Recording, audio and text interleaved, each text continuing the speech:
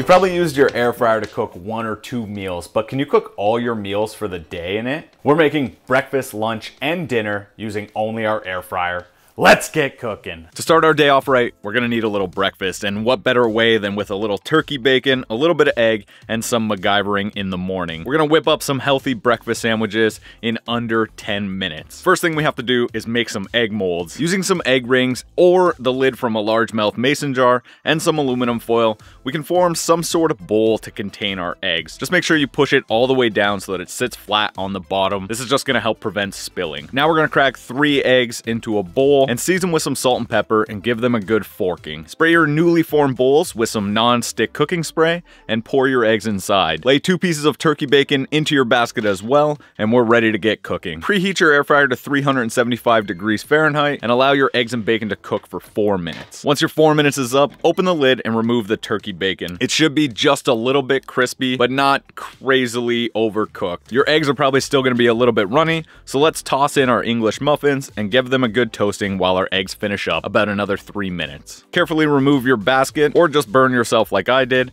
and now it's time to assemble. Grab your English muffin and give them a little squirt of ketchup. Remove your eggs from the mold, that was easier than I thought, and stack on top of the muffin. Top the eggs with a slice of medium cheddar cheese and your one strip of turkey bacon cut in half. Place the top bun atop the mountain of breakfast goodness. Cut in half, and voila, a quick, delicious breakfast sandwich that only takes 10 minutes to make, so no more excuses on why you're skipping breakfast. You don't even need to watch the eggs cook. If you're thinking of going and grabbing takeout for lunch, stop it. This spicy chicken sandwich is all the goodness of fast food without all the empty calories. Start by laying a chicken breast between two pieces of plastic wrap and pounding it with a heavy bottom pan or meat mallet until it's a consistent size throughout, about one inch. I know we just did this last week, but when it comes to chicken breast, you really want to do this every single time time. It's gonna cook more consistently the more even you can make it. Now cut it in half so that we have two even sized pieces. It's time to make our breading. Grab yourself two shallow dishes or plates. I like to use pie plates. In the first bowl or plate, crack one egg and whisk in two tablespoons of your favorite hot sauce. If you're an OG to this channel, you already know my favorite hot sauce is Frank's. Give it a good whisk until combined and set aside. In our second plate, combine one quarter cup breadcrumbs, one quarter cup of panko breadcrumbs for a little extra crunch, one teaspoon smoked paprika, 1 teaspoon salt, half a teaspoon of onion powder, half a teaspoon of garlic powder, a few cracks of black pepper, and half a teaspoon cayenne pepper if you want some extra kick. Give that a little mix until everything is well combined, and it's time to bread our chicken. Using the wet hand, dry hand technique, bathe your chicken breast in the egg mixture thoroughly, coating it, and then placing it into the breadcrumbs, ensuring an even coating on both sides. Don't forget the edges as well. We're gonna double coat these for a little extra crispiness. Toss it back into the egg, and son of a Every time I bread, I forget to keep one hand dry. Wash your hands and then get it back into the breadcrumbs. Once coated, set it aside and repeat with the other half of your chicken. This recipe can be easily doubled if you need to make more than two servings. Place your breaded breast into the basket of your air fryer and give them a little spritz of oil to ensure even crisping. In your preheated 400 degree air fryer, drop your basket and allow to cook for 5 minutes. Give them a little flip without messing with it too much and losing all your breading, and cook for another 5 minutes or until an instant read thermometer reads 165 degrees in the center of your breast. While that's cooking, let's make a quick chipotle aioli. We're gonna start by separating one egg yolk from its whites and placing the egg yolk in the bowl of a stand mixer with the whisking attachment attached. Don't waste these egg whites though. Use it to make an omelet in the morning. Next, add in 2 teaspoons of Dijon mustard and turn it on to a medium-high speed and mix for about 15 seconds. Now turn it up to high speed and slowly begin drizzling in 1 cup of olive olive oil. You'll want to start off really slowly until you start to see an emulsification, after which you can begin pouring in a little bit faster. Once you have a beautiful looking mayo consistency, turn it off and season with one tablespoon white wine vinegar, one chipotle that we roughly chopped, along with one teaspoon of its accompanying adobo sauce, and some salt and pepper to taste. Give this a good mix until well combined and serve in a bowl. I was gonna use a food processor for this, but it wasn't working the way I wanted it to, and that's why we didn't chop the chipotle into smaller pieces. Just remove the huge huge chunks, and we're good to go. Once your chicken is done, it's time to assemble our sandwich. Start with a lightly toasted bun bottom, and give it about one tablespoon of our homemade aioli. Layer on your deliciously crispy looking chicken, a piece of iceberg lettuce, a few slices of tomato, and smear the top bun with another thick dollop of our chipotle aioli. And I'm telling you, this chicken sandwich is an absolute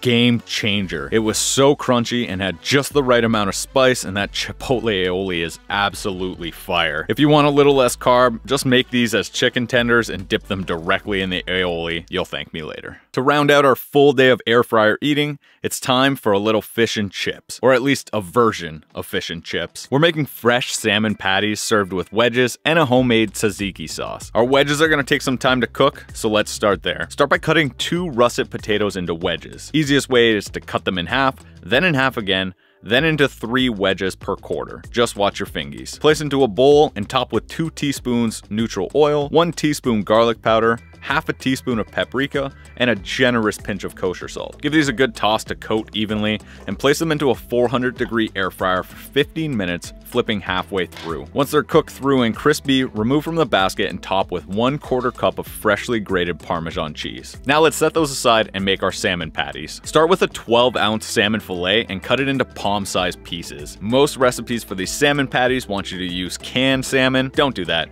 fresh is so much better. Toss it into a blender and give it a few pulses until it starts to look like ground meat. Alternatively, you can chop this really finely with a knife. Scrape it into a bowl and combine it with one large egg, one third of a cup of panko breadcrumbs, one tablespoon Dijon mustard, 1 tablespoon lemon juice, and 1 tablespoon fresh dill. Give it a good mixing until everything is well combined and let it sit for about 2 minutes. This is just going to help thicken it up so that we can form it into stable patties. While that's thickening up, go ahead and slice 4 slices of lemon. We'll use these to layer under our salmon cakes to prevent them from sticking in our air fryer basket. Using your hands, form 4 even-sized salmon patties about 3 quarters of an inch thick. Use the lemon slices to help get them off your hands, although they shouldn't be too sticky. Place your basket in a preheated 390 degree air fryer and cook for 8 minutes, flipping halfway through. I removed the lemon slices at the halfway mark and gave the undersides a little spray with non-stick cooking spray. They weren't crisping up the way that I wanted them to, and this helped. Because we're cooking with fresh salmon,